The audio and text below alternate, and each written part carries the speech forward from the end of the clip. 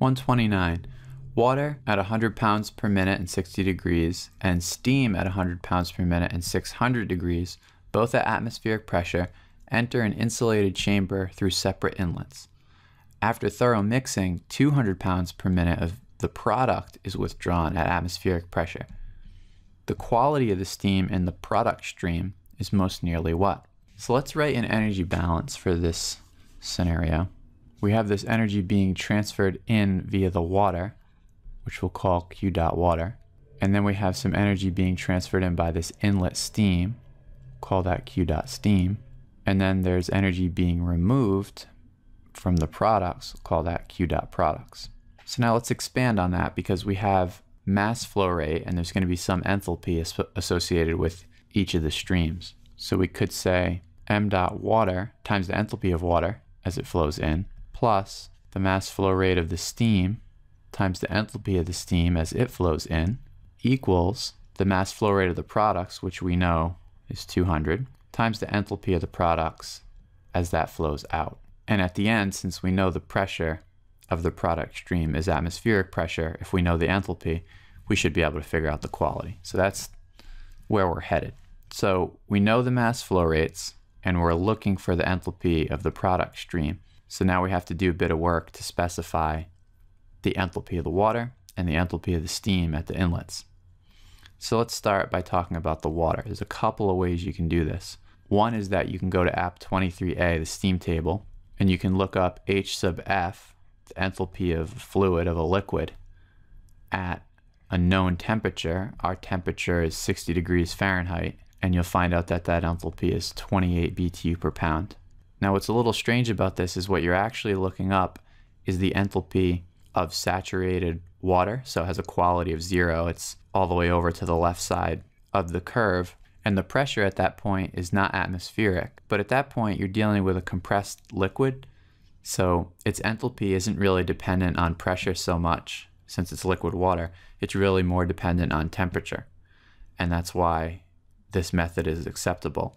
Another way to think about it that you may be more comfortable with, this term can be, instead of m dot h, it could be mcp delta t, where h is being approximated by cp delta t, where cp is 1 BTU per pound degree Fahrenheit, and delta T is the difference between 60 degrees and the freezing point of water because that's when it would be considered to have zero enthalpy.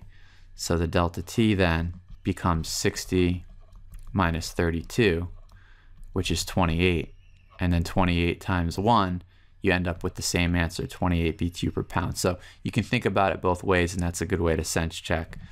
But regardless of how you approach it, the enthalpy of liquid water at 60 degrees is about 28 BTU per pound. So that's going to be our HWN. Then for the enthalpy of steam, we're going to use app 23C, which is the superheated steam table. And we know that we have a temperature of 600 degrees Fahrenheit and a pressure that's atmospheric, so 14.7 psi. And given those two facts, we can look up in the table and find the enthalpy.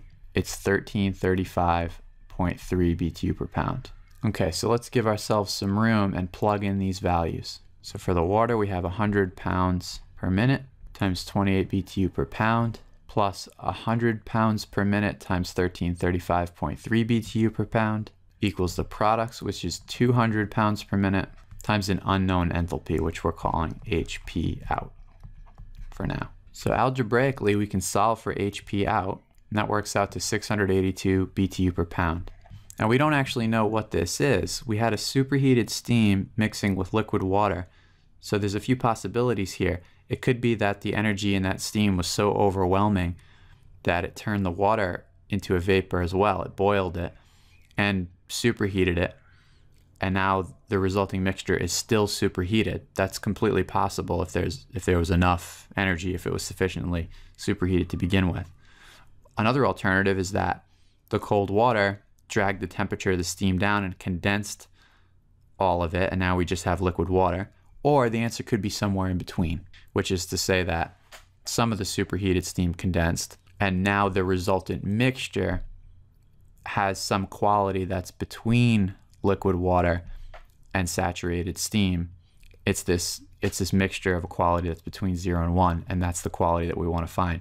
So, in order to unpack that, let's use this enthalpy that we've now solved for and the fact that we know the pressure is atmospheric pressure, P equals 14.7 psi, and we'll look in app 23b, again the steam table organized by pressure, looking at the line of P equals 14.7 psi, and let's check out some of the enthalpies in that table.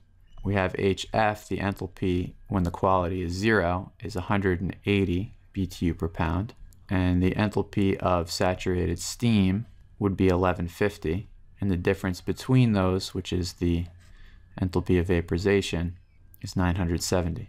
So since the enthalpy we solved for, 682, is between HF and HG, we know that it is indeed a mixture with a quality that's somewhere between 0 and 1. It looks like it's a little closer to HG, so we should expect a quality that's north of 50%.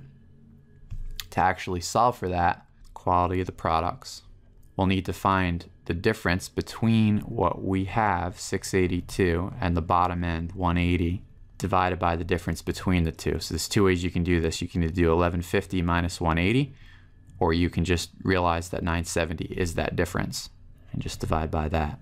And solving that, we get 0.517. So indeed, the quality is just north of 50%. One of the answer choices is 0.52, so that's perfect.